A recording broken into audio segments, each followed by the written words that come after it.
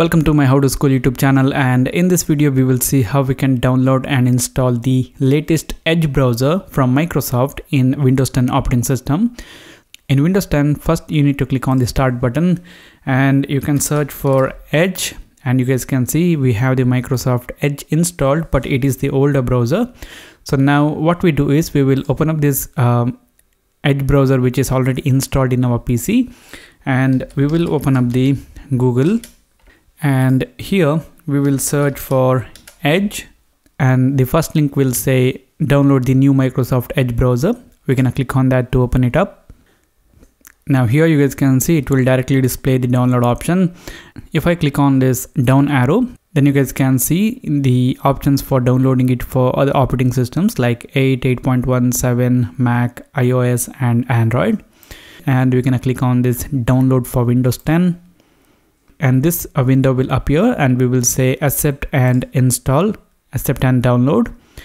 It will say uh, your download will uh, begin shortly and it has begun. So i'm going to click on this save and i'm going to close this.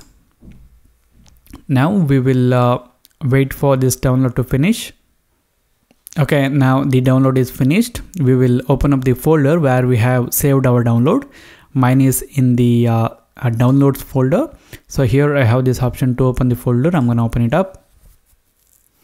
And here you guys can see in this downloads folder I have the uh, Microsoft Edge setup.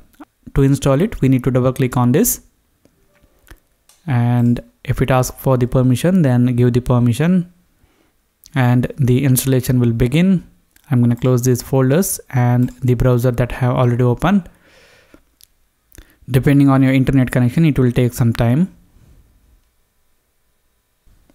Now it is installing the new edge browser. Now it has been opened.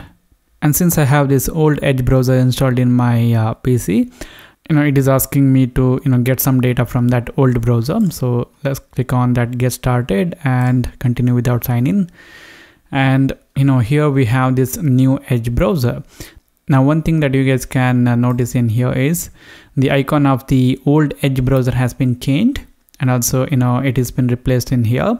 And uh, you know that's it. You know this is how we can download and install it. So this is it guys for this video. Thank you for watching.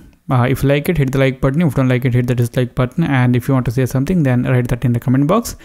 I'll see you later in the next video